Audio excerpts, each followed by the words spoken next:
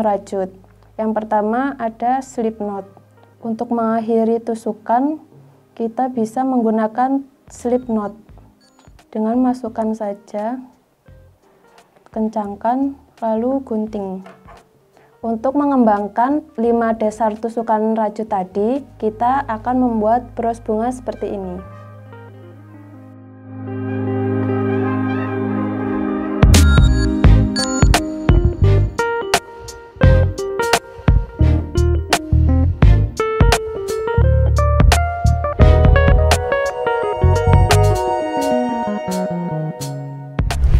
Sobat Semar Biru, selamat datang di Semar Biru TV, Smart and Creative. Perkenalkan, aku Nadira, owner dari Knit Note ID. Kali ini aku akan memberikan tutorial dasar-dasar merajut. Merajut adalah cara membuat kain atau pakaian atau perlengkapan busana dari benang rajut. Sebelum masuk ke tutorialnya, berikut adalah alat dan bahan yang diperlukan untuk merajut. Yang pertama adalah benang rajut seperti ini. Yang kedua ada hak pen. Yang ketiga gunting. Yang keempat jarum. Jarum tapestri atau jarum sulam.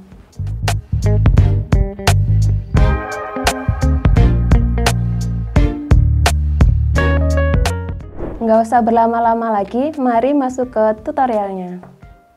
Berikut adalah macam-macam tusuk merajut. Yang pertama ada slip knot.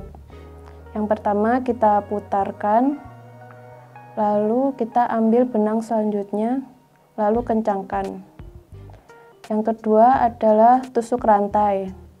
Tusuk rantai itu mengambil ke benangnya, terus dimasukkan. Begitu seterusnya. Yang ketiga itu namanya tusuk single cross. Single cross dimulai dengan memasukkan tusukan ke dalam rantai. Lalu kita ambil benang dan masukkan benang ke sini. Seperti ini.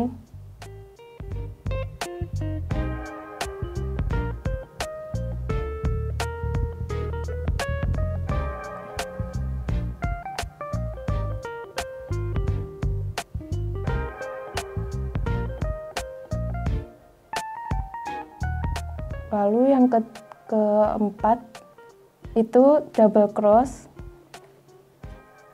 Kita ambil awalan dengan membuat rantai dua rantai dua tusuk rantai.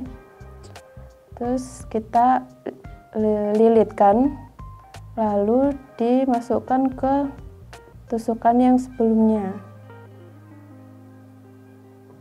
Lalu kita masukkan terus ambil benang dua kali.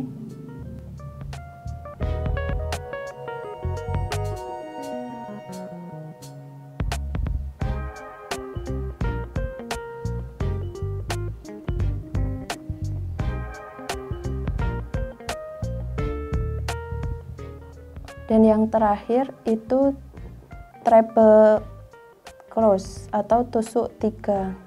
Dengan mengambil awalan tiga tusuk rantai lalu kita lilitkan dua kali. Lalu kita masukkan ke tusuk sebelumnya. Kemudian ambil dan masukkan sebanyak tiga kali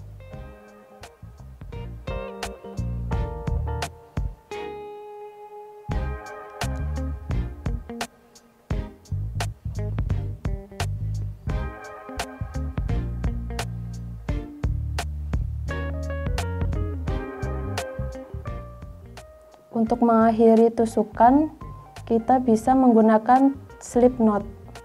Dengan masukkan saja, kencangkan, lalu gunting. Untuk mengembangkan 5 dasar tusukan rajut tadi, kita akan membuat bros bunga seperti ini. Pertama, seperti tadi, slip knot terus tusuk rantai sebanyak lima kali. Setelah tusuk rantai, kita bisa me menyatukan ke ujung sini, ke ujung awalan dari tusukan tadi.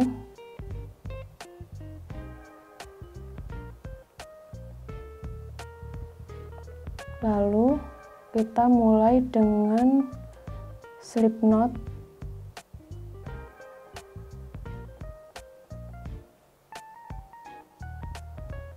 lalu single cross.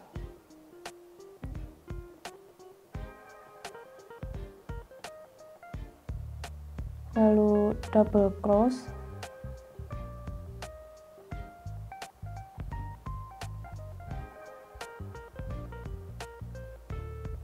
lalu treble cross.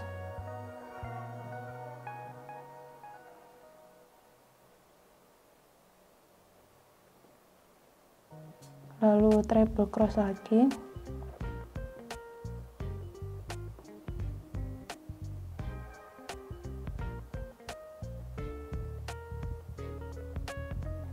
Lalu double cross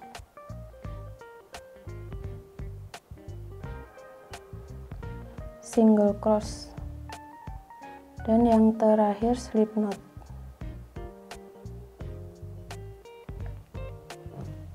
Ulangi langkah ini sampai kelopaknya menjadi 5.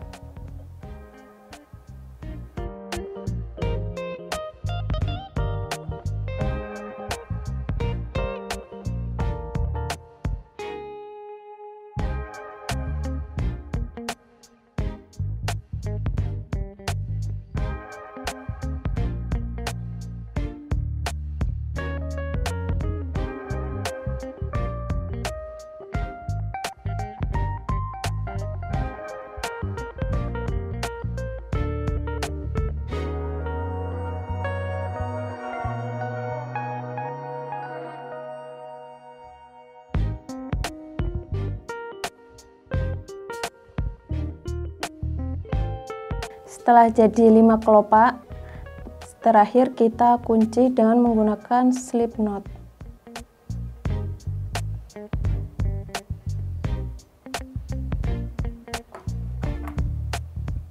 Lalu gunting. Hasil akhirnya kira-kira seperti ini. Gimana hasilnya? Cantik bukan?